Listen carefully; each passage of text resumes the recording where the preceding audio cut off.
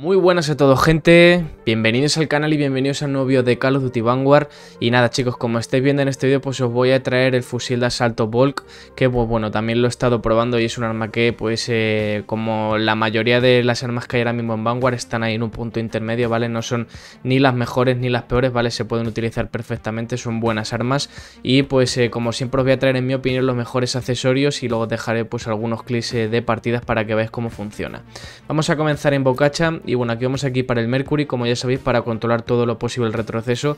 La verdad que este arma cuando le pones dos, tres accesorios de control de retroceso se nota un montón, es bastante láser, pega bastante bien, entonces vamos a equiparle este silenciador para hacer que se mueva lo menos posible.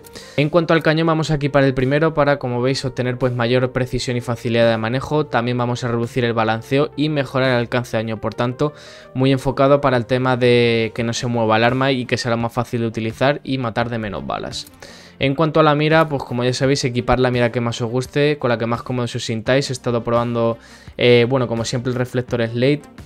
Había una mira que también me ha gustado mucho, una de estas de MK, MK3, esta por ejemplo va muy bien, digamos que la parte de arriba pues no hay nada, entonces es bastante limpia a la hora de, de utilizarla, pero como ya sabéis equipar la mira que más os guste.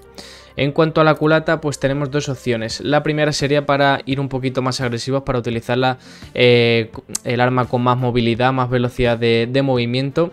Y la otra sería la tercera, más enfocado al retroceso. Entonces, si queréis la máxima movilidad para ir lo más agresivos posible, la primera. Y si queréis seguir controlando el retroceso y que se mueva prácticamente nada, la tercera.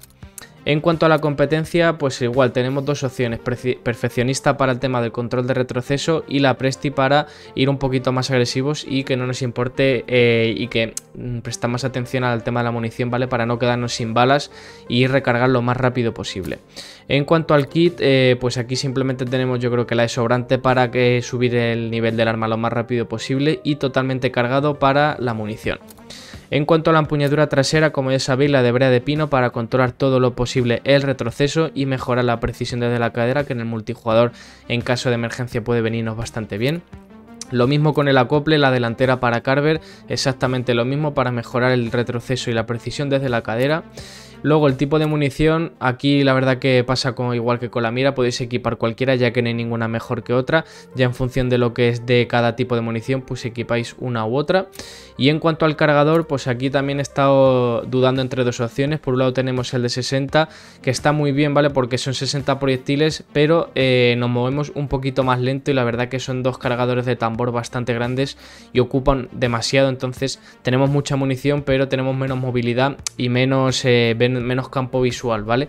Y la otra opción sería pues el de 30 proyectiles, ya que está este de 45, pero nos quita un montón de control de retroceso, entonces sería, para eso equipamos el de 60, que no se nos va a mover nada el arma, y la otra opción sería el de 30, que como veis nos controla una locura el retroceso, y es cuando no se mueve nada, pero son 30 proyectiles. Entonces si queréis eh, tener pues el máximo control de retroceso, el de 30 y si queréis máximo número de proyectiles y que el arma siga siendo bastante buena, el de 60. Así que nada gente, pues espero que os haya gustado la clase, sobre todo espero que os sirva. En comentarios, como siempre, cualquier cosa que contesto a todo. Ule si os ha gustado, que ayuda un montón. Y no olvidéis suscribiros si no lo estáis. Así que ahora dejaré con esos clips. Y nada, nos vemos en el siguiente. Adiós.